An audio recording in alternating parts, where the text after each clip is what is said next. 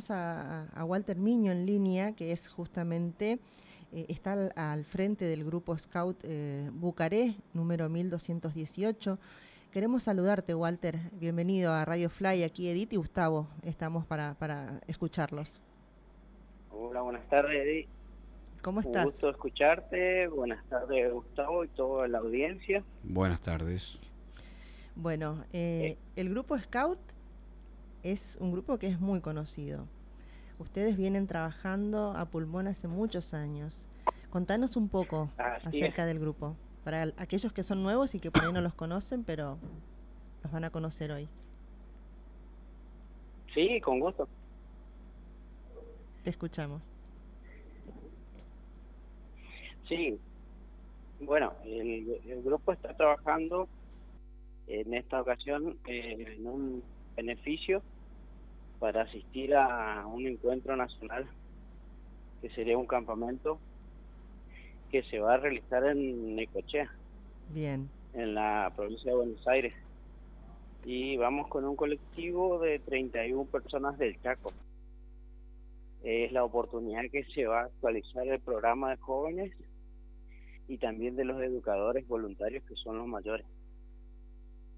Y en eso estamos realizando beneficios de diferentes tipos de preparación de alimentos, estamos haciendo bonos de contribución porque la gente de toda la Argentina está colaborando y a la vez hay jóvenes que hacen artesanía, eh, trabajos de manualidades, eh, macramé y todo lo que es manual y van difundiendo y van ofertando también para poder recaudar fondos. Bien. Eh, trabajan y mucho entonces eh, los chicos para poder realizar este viaje. ¿Es, es, eh, ¿Son viajes que se hacen todos los años o que salen así de vez en cuando, digamos, porque son fechas importantes? Son eh, viajes que se realizan cada dos años aproximadamente ah. a nivel nacional. Eh, igual este campamento que se va a realizar es de actualización del programa porque en todo Sudamérica eh, se actualiza hace 10 años el programa. Cada 10 años se va actualizando y ahora las nuevas normas, las nuevas las normas vigentes serían las que se van a actualizar a través del encuentro este que dura desde el 26 de enero hasta el 31 de enero. Eh, ¿Y cuántos son los integrantes que estarían viajando? En realidad las delegaciones del Chaco, eh, que incorporan varias localidades, sería Barranquera, eh, Resistencia, gente de Las Palmas, La Leonesa, Pampa del Infierno, San Peña y creo que es de Las Breñas, sí, hasta el momento esas localidades están somos 31 personas que vamos. Es la primera vez que una delegación grande del Chaco hacia Buenos Aires. Ajá. ¿Y de acá de esa Espeña, ustedes cuántos son de, aquí, de, tu grupo? Eh, en realidad de acá de mi grupo va, eh, van seis personas, después van del grupo Scout Contardi, que es el otro grupo también que van dos personas, y del Pedro Enrique Gómez es una persona que está yendo está, es un joven.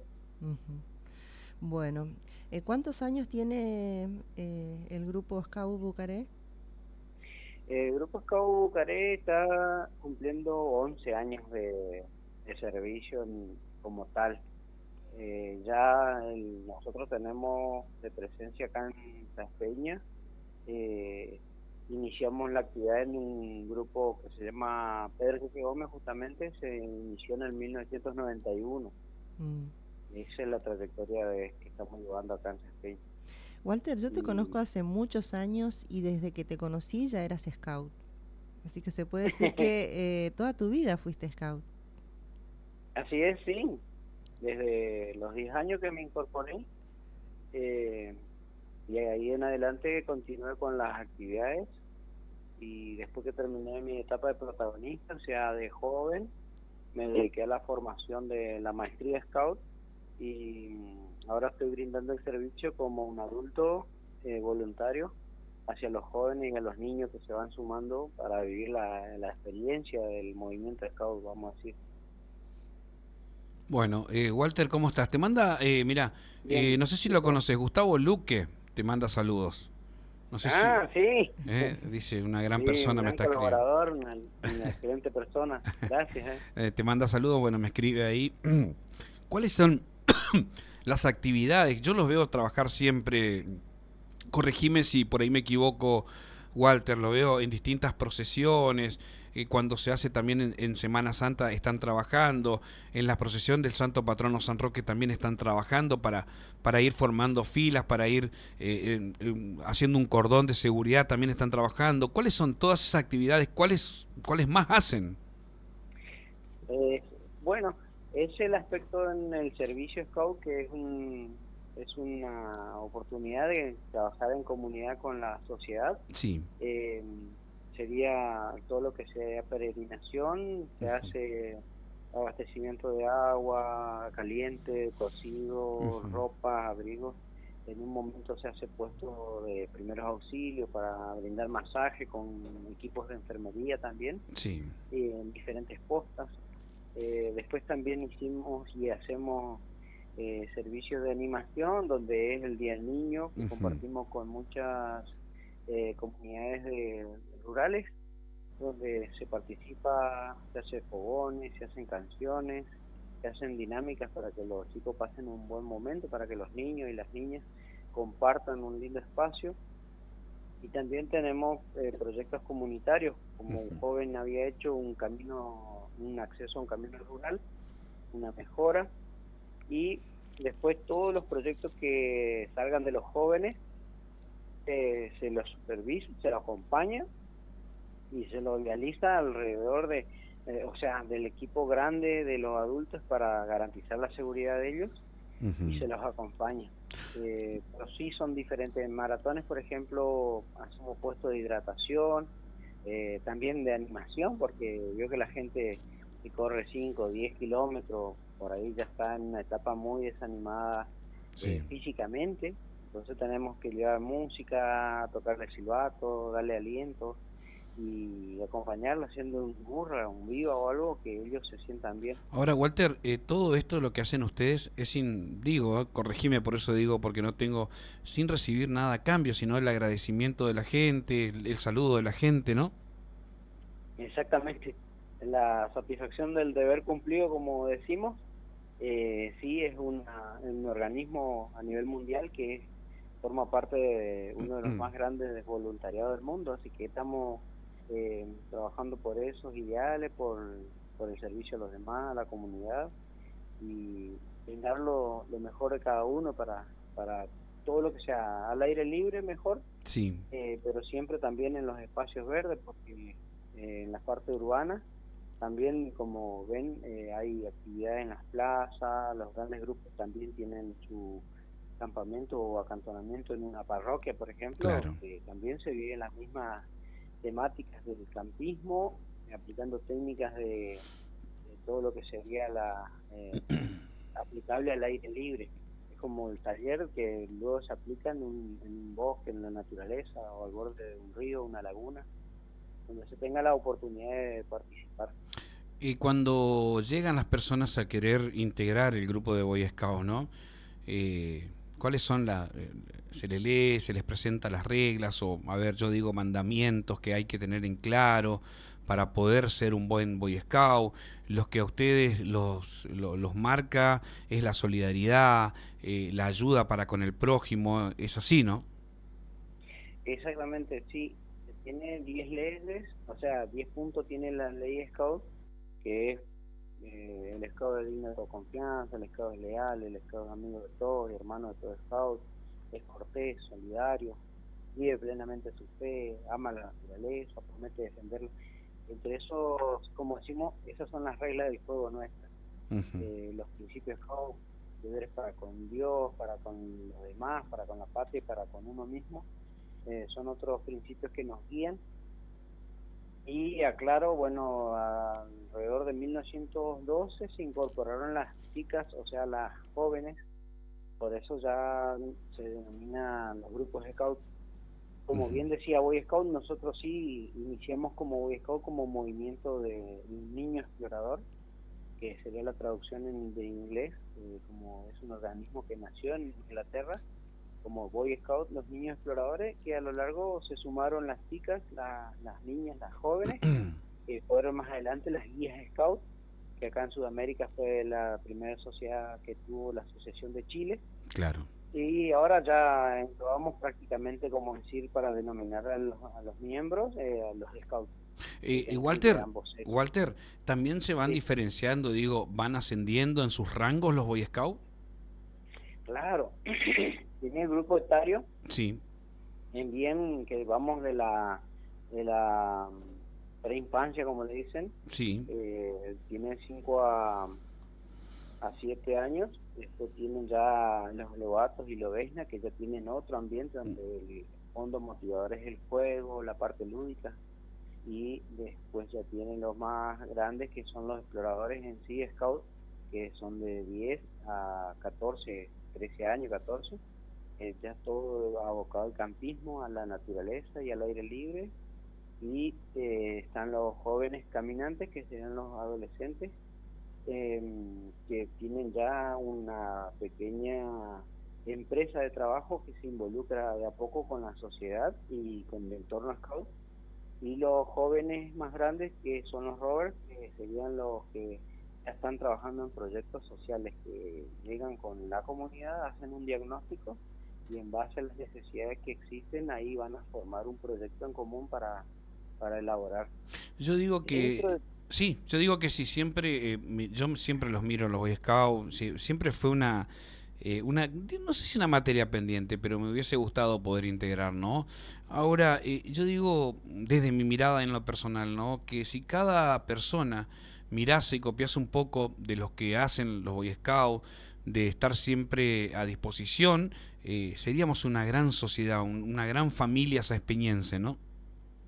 Exactamente, sí. Bueno, yo como siempre digo, el, movimiento Scout nos ofrece a toda la oportunidad de, integrar, ya sea que uno termine su etapa de joven o como adulto puede ser ayudante, como puede ser un asesor o un cineval, una persona que sea idónea para una materia que eh, bienvenido sea lo que se suma. Eh, da la oportunidad al movimiento de, de sumar esa energía y contribuir a la, a la buena ciudadanía, como decimos, y, es lo ideal. Exactamente como a veces nuestro lema dice, dejar el mundo en mejores condiciones de lo que lo encontramos.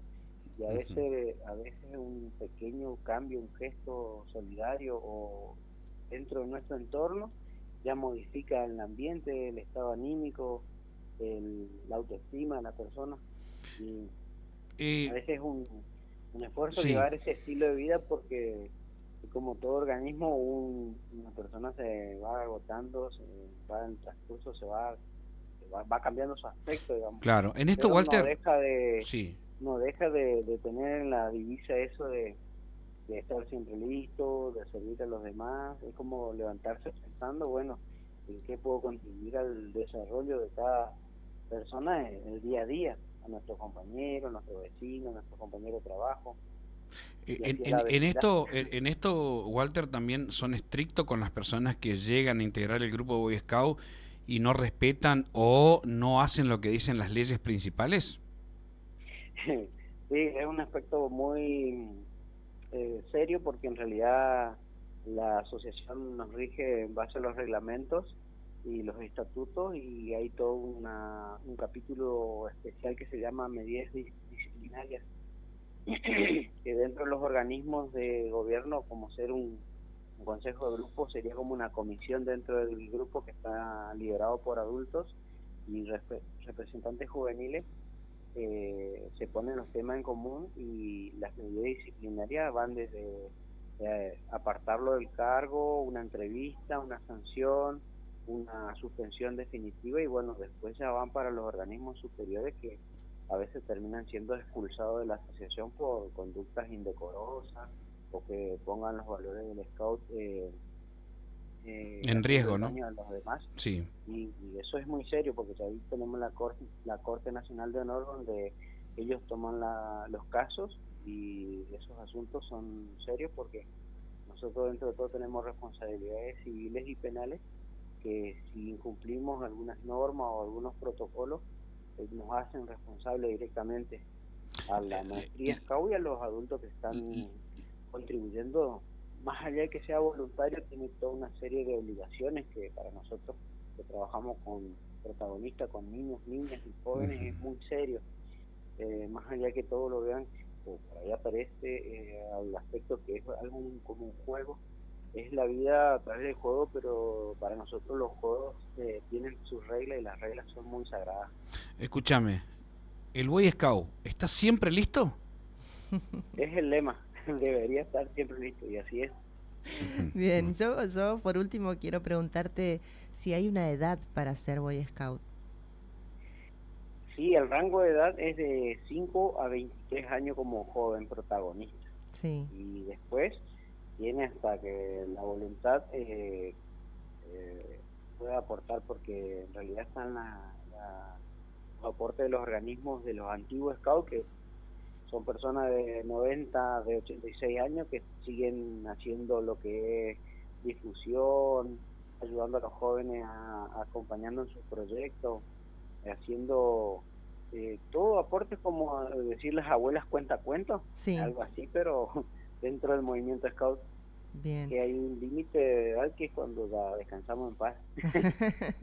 claro, mientras haya energía, fuerzas y ganas, entonces eh, eh, se puede, digamos, sumar, al menos como para colaborar también desde afuera, aquel que dice, bueno, yo tengo esto pendiente, como decía Gustavo, ¿no? De, de participar de un grupo scout pero bueno, no pude hacerlo desde niño, no pude hacerlo desde joven. Eh, ahora soy grande, tengo otros tiempos y me gustaría por ahí, em, lo que uno tiene más valioso es el tiempo, ¿no? Y quiero compartirlo de alguna manera y, ayudar a los grupos. ¿Se puede? Sí, sí, correcto y bienvenido sea. Mm. Bien, qué lindo entonces. ¿eh? Bueno, aquellos entonces que quieran colaborar con ustedes con respecto a este bono que estabas mencionando, ¿cómo pueden hacerlo? ¿Pueden eh, comunicarse con, con, ustedes? ¿Tienen algún, tienen redes sociales? ¿Tienen algún número? Sí, em, bueno, en el Facebook, en el Facebook van a encontrar eh, Flor de Lis Blanca, que es la, la Flor de Lis Mundial que nos representa a todos los scouts, que es el nombre de nuestro grupo que le pusimos a Bucaré, pero en realidad ingresa como Flor de Blanca. Y eh, también está Grupo Scout Bucaré eh, en el Instagram, o bien con mi número que es 3644 69 70 44. Perfecto. Porque consulta, por ahí la gente quiere hacernos consultas porque por ahí, eh, o sea, gracias a ustedes que nos ayudan a dar la difusión, eh, nosotros seguimos todavía sin darnos a conocer a pesar de que ya lleva más de 100 años el movimiento Scout acá en la Argentina.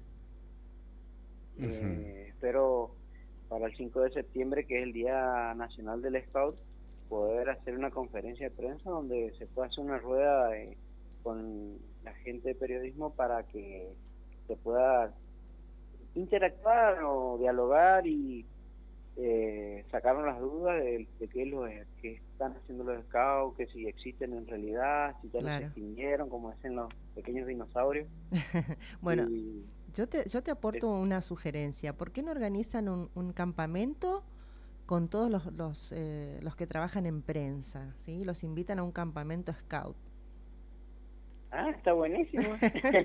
y, sabes qué, Walter, Para salir ¿sabes un poco de la rutina, ¿viste? Eh, enseñame a armar una carpa, enseñame a armar una carpa. Claro, hay, hay cosas que no sabemos hacer nosotros y que nos va a venir bien en, algún momento para sobrevivir en algún lugar remoto. Con gusto, sí, con gusto. Así que, bueno, tenelo en cuenta. Estuvimos colaborando con el campamento diocesano de...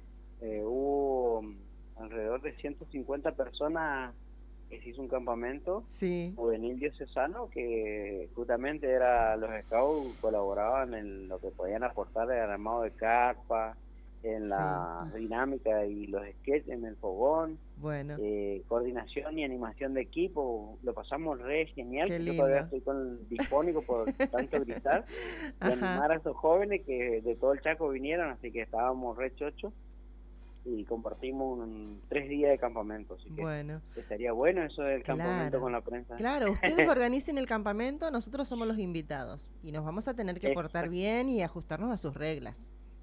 Esa. Yo te tiro la idea, vos evalualo, evalualo y bueno, de esa manera entonces los, los conocemos un poco más y podemos empezar a interactuar y bueno, ya sabes. Qué lindo, hermoso sería. Sí. No, no, eh, seguramente, Walter, eh, seguramente hay opciones, ¿no? Eh, digo, cómo hacer un fuego, una fogata. No solamente existe el encendedor, sino que hay otras, otras, otras, otras metodologías para poder hacer un fuego, ¿no? Que eso lo saben ustedes y que nos pueden enseñar también. Sí, sí, sí. Tiene de técnicas con pedernal, la fricción, que sería con la parte de, lazos y, ¿Viste? usando maderas específicas. Más la frotación, todo. Listo, voy a esperar ese voy a esperar ese fin de semana que organicen ustedes un fogón, porque tiene ese fin de semana para que vayan todos, no tengan excusa. Sí. y voy a voy a eh, documentar todo lo que hagan y sobre todo lo que hace Gustavo, a ver si puede prender el fuego con el, con el lazo. con esas eh, con esas metodologías que son media prehistóricas, ¿no? Claro, ¿Eh? cavernícolas. Cavernícolas, exactamente, ¿eh? Che, Walter, sí, felicitaciones. Están acampando el grupo Contardi, que aprovecho para mandarle un saludo muy especial, que ellos están acampando acá en, el lote 11 de Bajo Hondo, eh, acampan 17 y 18 de agosto, eh, van a pasar una linda jornada con todo el grupo, así que si están en, en sintonía lo pueden ver también, acompañar. Bien, buenísimo. una hermosa jornada. Bueno, eh, Walter, eh, felicitaciones por todo el trabajo que hacen. mañana es la, fiesta de nuestro santo patrono. No sé si van a estar también ahí en, la iglesia, van a estar afuera, donde va a ser la misa central. No sé si están convocados, si van a ir, porque después habrá una procesión también a la vuelta de la plaza, por calle 3, de la 10 hasta las 3 y la 12 hasta las 7. No sé si, si, si tienen información de eso también. Sí, yo sé que el grupo Scout San Cayetano que estaba colaborando ya con todo lo que es la la organización, estaban convocados. Eh, en realidad todavía nosotros no nos dijeron nada, pero ante cualquier llamado estaremos dando nuestro siempre listo y es muy lindo compartir con la con la ciudadanía en ese momento tan especial. bueno, gracias. Gracias, Walter.